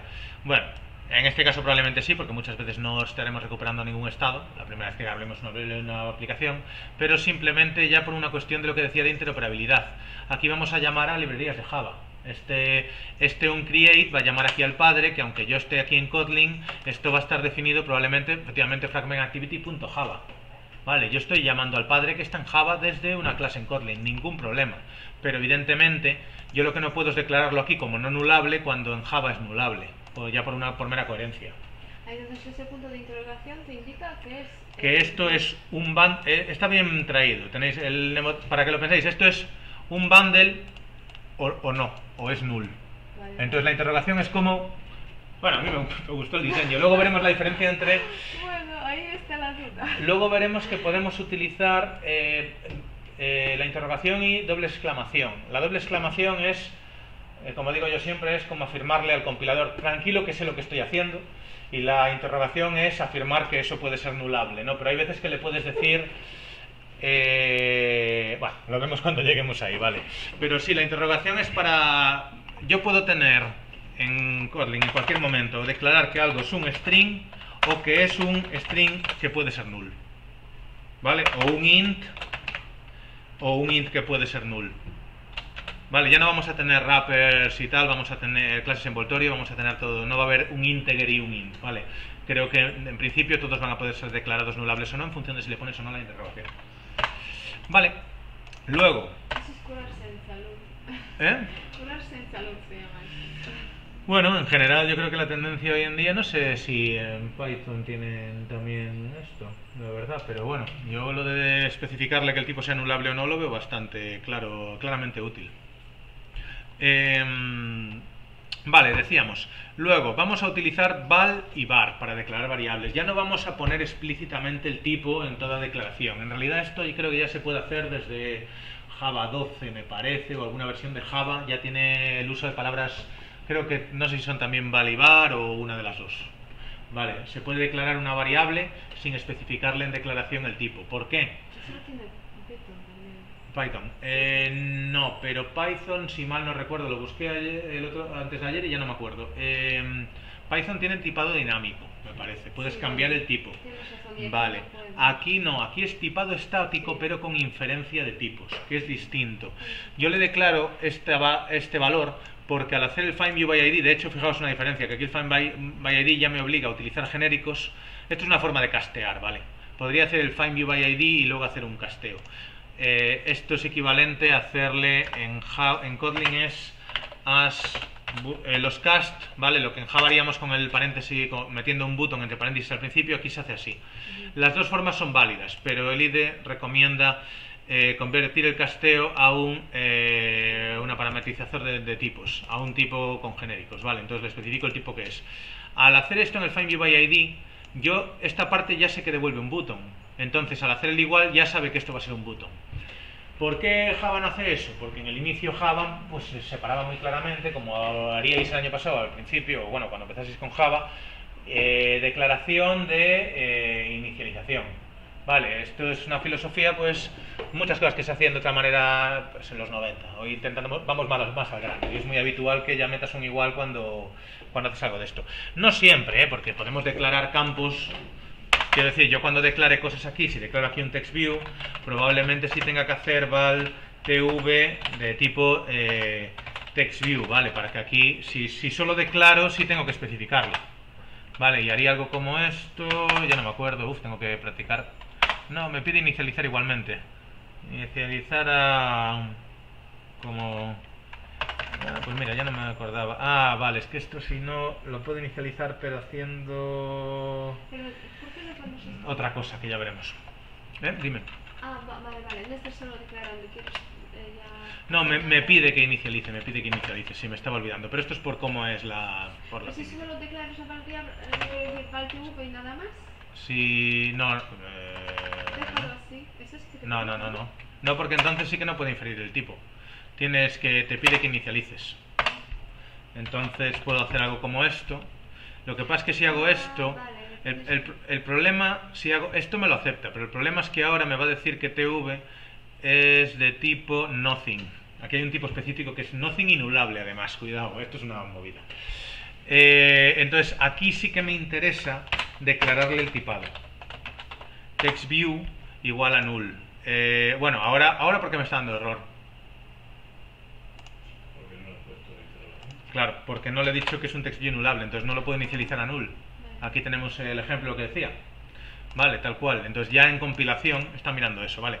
Entonces tengo un text view. Si quiero que realmente me lo declare como text view, no puedo simplemente inicializarlo a null, ¿no? Cuando la inferencia de tipos está bien, me facilita las vidas, pero la vida, pero ya estamos viendo un ejemplo, ¿ves? De lo que se podría argumentar desde el otro lado, la ventaja de Java.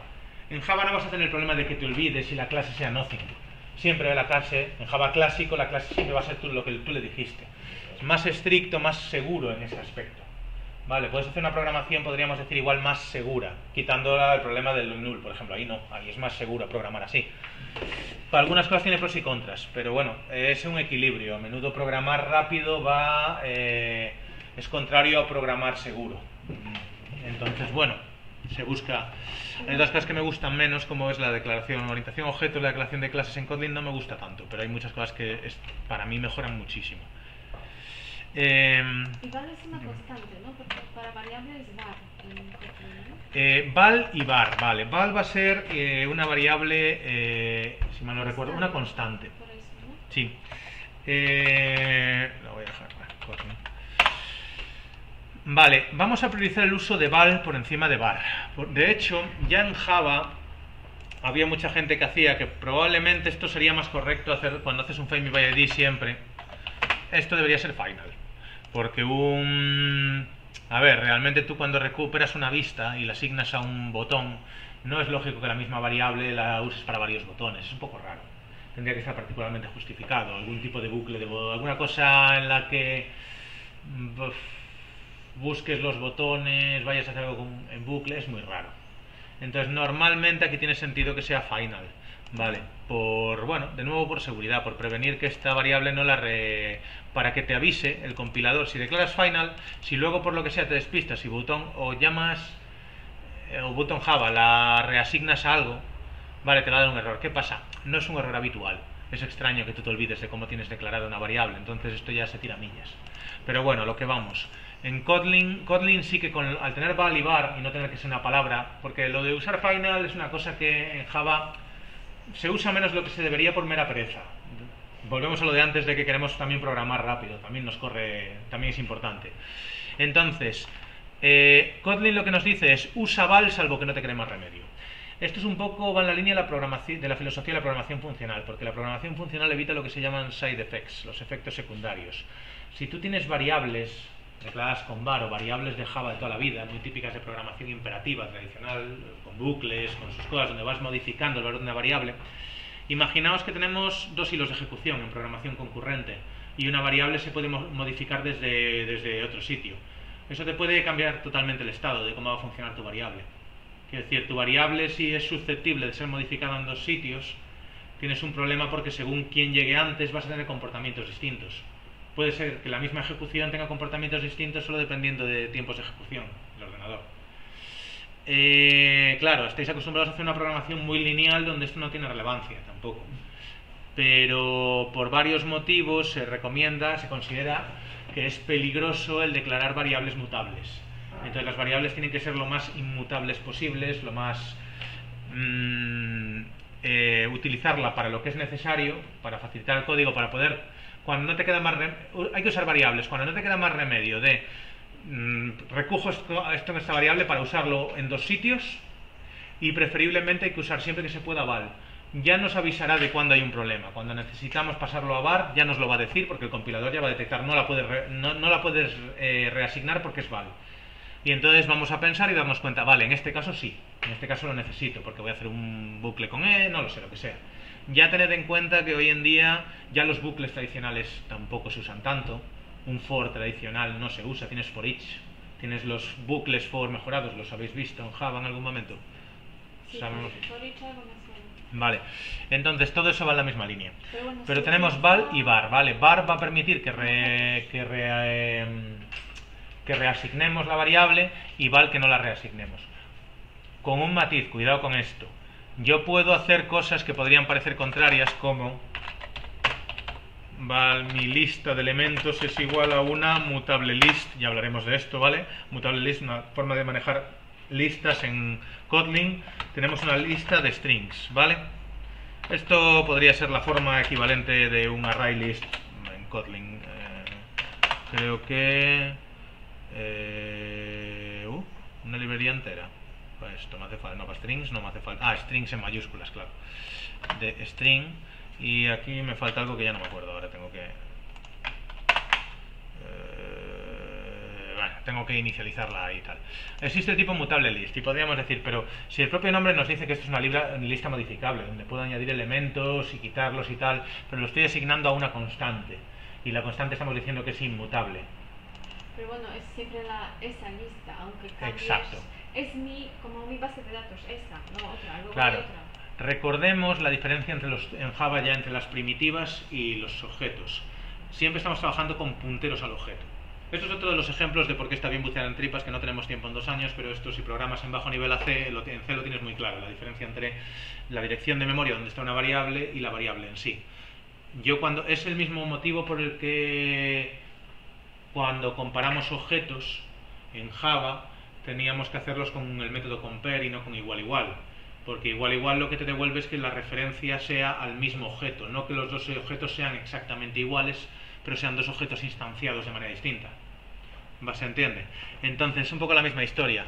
Yo lo que le estoy diciendo es que lista va es inmutable porque va a apuntar siempre a esta lista, pero esta lista por dentro sí es modificable. Sí se puede añadir elementos y tal. Lo que no puedo es reasignar lista a otra lista, otra vez a otra mutable list.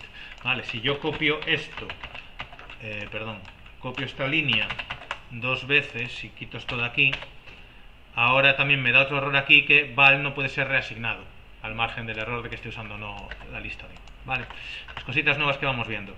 Set on click listener, tenemos el dis igualmente, Vale, eh, aquí habla de las, eso, cualificado, que no me salía antes. De cuando de la disexpression en la documentación de Kotlin, os pongo aquí para que sin quiera curiosear más. Esto es verdad que es un poco más complicadito, en la referencia dis. Y esto más, bueno, esto ya en Java ya era complejo, ¿no? Que estamos usando reflection. Esto, reflection, que se usa aquí cuando hacemos el punto class, recordamos un poquillo, había comentado un poco por encima por qué era, ¿no?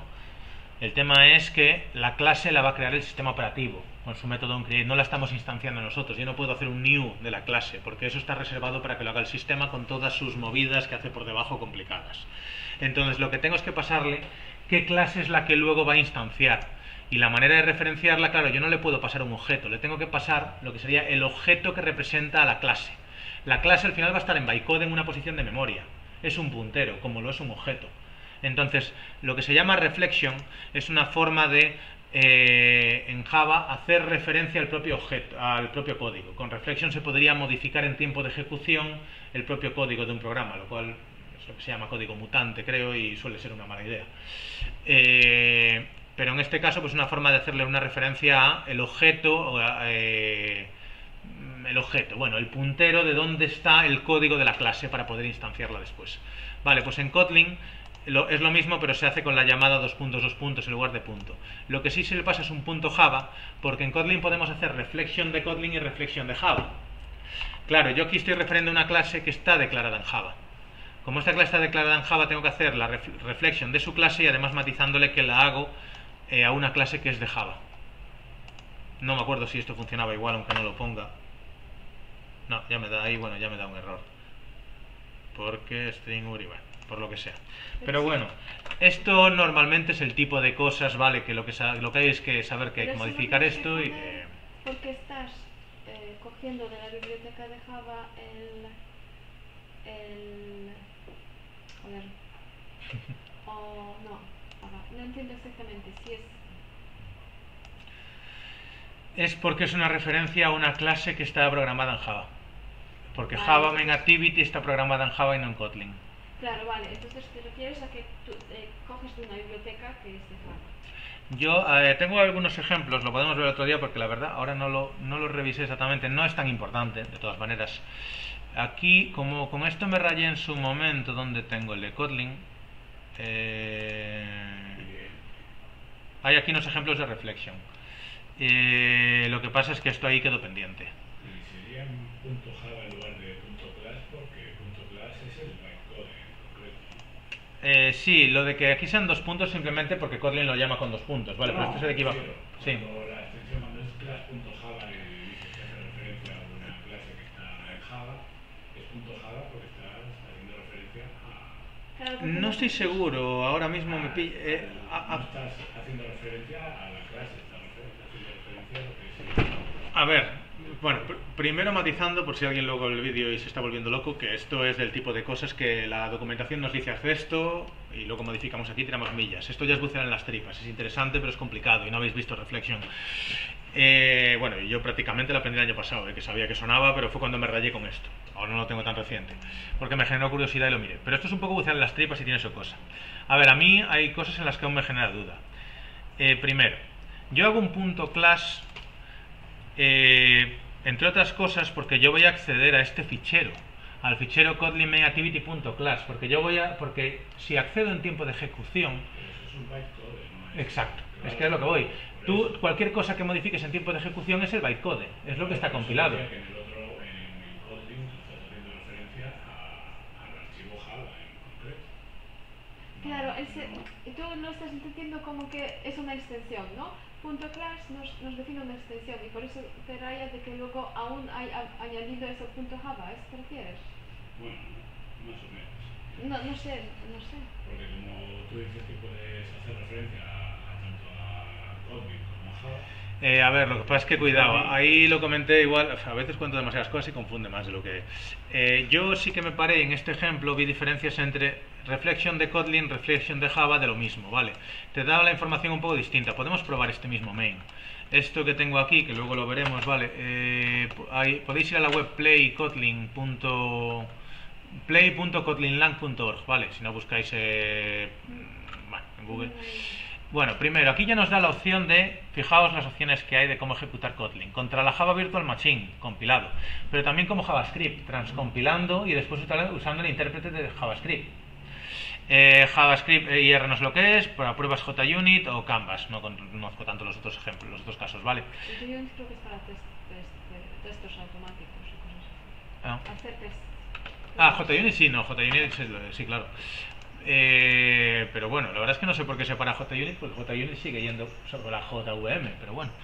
Eh, será por el bueno será para ponerles será que si le pones JUnit puedes usar directamente los métodos assert y tal sin declarar una prueba una clase separada porque esto es para pruebas rápidas interpretando sobre main vale entonces eh, por ejemplo si, si probamos esto incluso no descarto que veamos comportamientos distintos probándolo en la Java Virtual Machine o en Kotlin Aquí eh, hago un print hola, vale, hola mundo, hago un print de hola dos puntos class. Esto es la reflexión de Kotlin y me dice que estoy usando la clase Java lang string. Kotlin reflection, claro. Vale, no está disponible porque string ya es una clase de Java. Entonces aquí la reflexión de Kotlin siempre me... Ah, no, miento.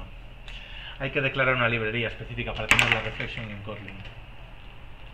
Creo que ya me voy acordando. La cosa es que hacer reflection si tú haces reflection por defecto lo hace en Java porque es siempre sobre el bytecode y tienes que usar una librería específica para poder usar reflection y hacer modificaciones en Kotlin sobre un código. Eh, claro, es que estás cogiendo el bytecode y modificándolo en alto nivel otra vez. Esto es rarísimo, ¿eh? Vale, esto, esto nos vale esto nos vale para este parámetro. Esto meterse... Yo no he usado reflexión de verdad en mi vida. Creo que es para hacer esas cosas fardonas que lo llaman eso, código mutante. Modificar código en tiempo de ejecución en general es mala idea. Eh, en alto nivel es muy mala idea normalmente. Vale, entonces eh, con Java, con Kotlin y también incluso con esto, todas nos devuelven los mismos en este ejemplo. Y aquí yo creo que había, dejé otros ejemplos, pero la llamada dos class devuelve la clase Kotlin del objeto referenciado. La llamada .javaclass devuelve la clase Java subyacente. No digamos que estamos compilando código bytecode, va a ser ejecutado tal. En Android Studio, para poder usar, aquí está la reflexión de Kotlin, hay que añadir esta dependencia en el Gradle.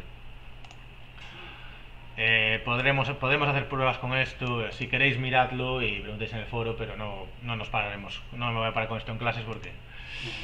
Eh, o bueno, lo vemos otro día, pero hoy estoy grabando aquí todo, pero esto ya última parte, ya es eso. Aquí ya aquí es donde empezaremos a probar cosas ahora con el próximo día, quizás con el script para hacer una introducción un poco a Kotlin, ¿vale? No de lo de estos que son avanzados. De hecho, si os fijáis, el de ¿dónde estaba? Ciclovida, lo de Kotlin lo cerré, no, es aquí. No estaba bueno, los apuntes de Kotlin aquí. Eh, lo de Reflection fue porque tenía yo curiosidad y puse el ejemplito este, pero si os fijáis iba a decir, jolín, que lento va esto. Decía que aquí, por ejemplo, Reflection me quedó, los otros veis que están numerados y este ni le puse la numeración, me quedó ahí en ejemplo pendiente de cosa que, bueno, fue más por curiosidad mía, si no sería un poquito del tema, ¿vale? Sí que ya hay bastante turra con esto, ya lo de los delegaciones es una movida, Scope Functions es nuevo para vosotros, ya las landas también, bueno, muchas cosas. Null Safety, esto va a ser importante, el tema que os decía de la seguridad en los nulles. Pero bueno, nada, pues el próximo día empezamos a ver un poquito Kotlin y, y ya a partir de ahí pues empezamos a trabajar con él. A ver, no, sé, no tengo claro todavía si vamos primero a trabajar un poquito con Kotlin utilizando todavía layouts normales Probablemente igual sea bueno eso antes de meternos con Compose. Pero bueno. Bueno, pues eso.